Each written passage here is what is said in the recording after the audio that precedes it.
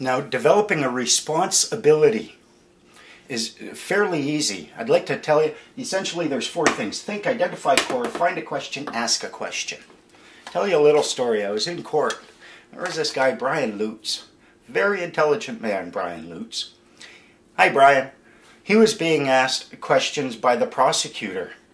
And his response for like four minutes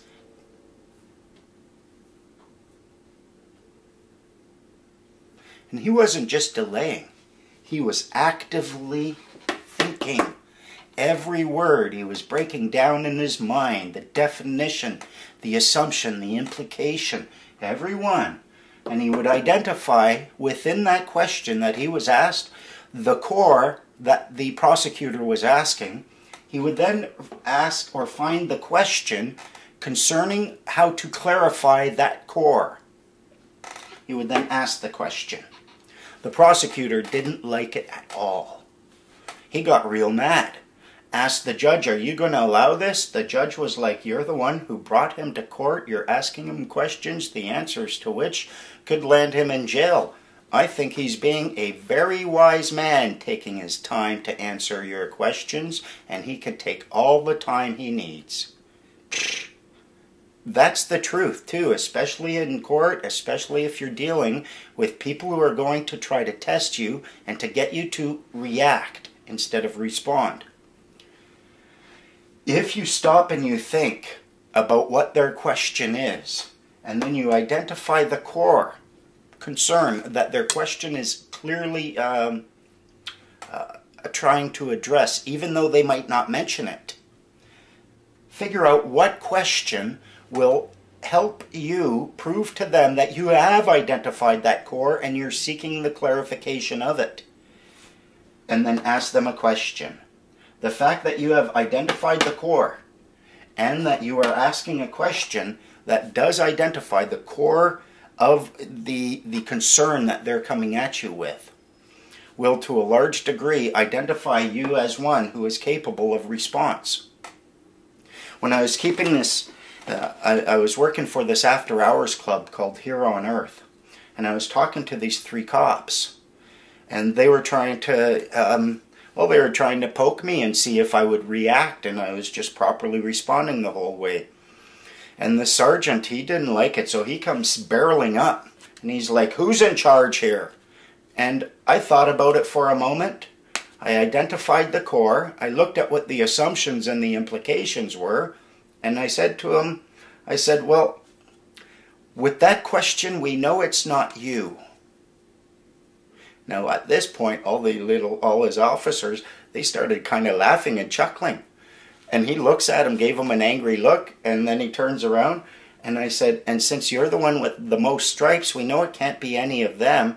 Since it's after dark and uh, you're carrying guns and you haven't been called here as peace officers, don't you think you're trespassing? And it was by doing that that they saw that I was capable and that I had the ability to respond. Instead of just, ooh, who's in charge and answer his question? No.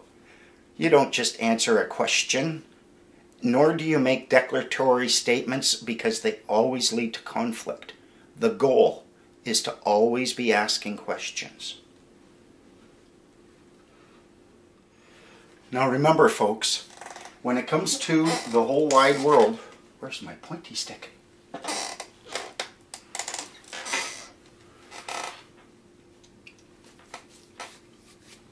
Comes to the world, the master asks the questions, and the servant answers the questions. And your goal is to be the master. You do this by asking questions. And that brings us to your assignment for this lesson. And we are going to call it the question game. Found my stick. The question game, you, this is why we were, uh, when we were doing the serving of the soup, uh, we were asking you to hook up with people. Uh, we now have a class uh, president. I don't know if I would call him president. He's volunteered to act as the communication hub. if you're if you have made friends with people here uh, taking these lessons and in this class then you should have some way to communicate them ideally via skype and you play the question game you're going to be asking questions where you have to respond properly to the questions that are posed to you you have to identify the core find the question then ask the question and the goal is to do it as fast as possible. You've seen the theatrical games uh, where you're always asking the questions. Have you seen that? See, I just asked a question.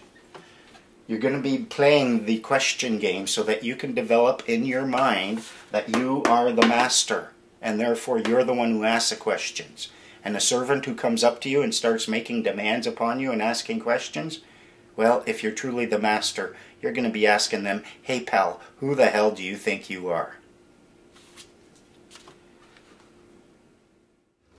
Now you have some very fun and very simple assignments this time. For this lesson, uh, I want you to play the question game.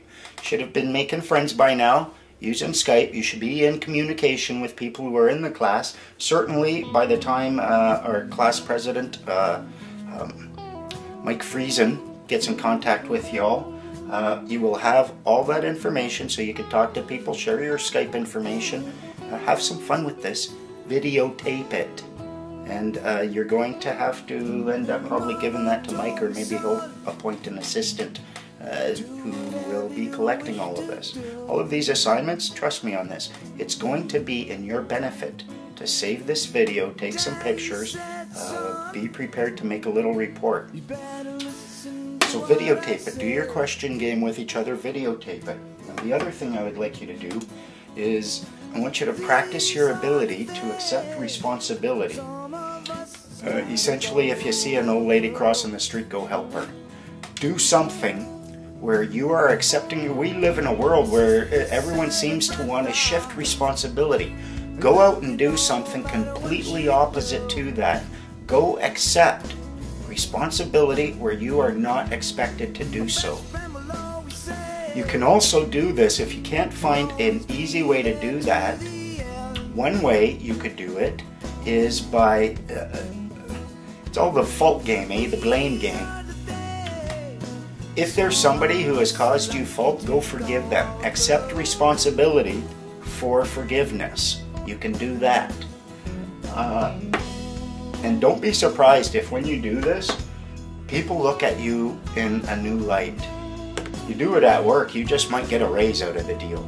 Certainly the universe will start to unfold in a manner where it will recognize that you do or you are capable of shouldering responsibility.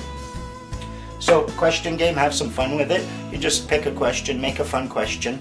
Uh, you'll get points for creativeness of your question.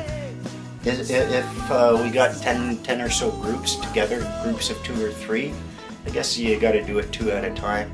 Uh, but just have some fun, play the question game. And the goal is one person asks the other a question, and you have to respond. Give yourself a time frame. I'd say start at 30 seconds. You have 30 seconds to come up with another question and bring it down until you're responding five questions, three seconds right off the bat. And have some fun with it. It's a, it's a good way to get to know people and uh, it's, it's good to have with three people because you might find you need someone else watching to catch you when you respond in, with an answer instead of a question. Because I've, I've done it before where when we look back, we realize, holy mackerel, we were both making responses there. And you get, you, you get tripped into it and you don't even realize it. So it's good to have a third party there watching you. So, question game, videotape it. Go out and accept some responsibility. Don't be surprised if the magic starts unfolding with that one. Uh, bear in mind, you're watching this on YouTube. Uh, you do me a good service if you rate it, comment, share, and favorite. Do all of those things. It doesn't hurt you. Click, click, click.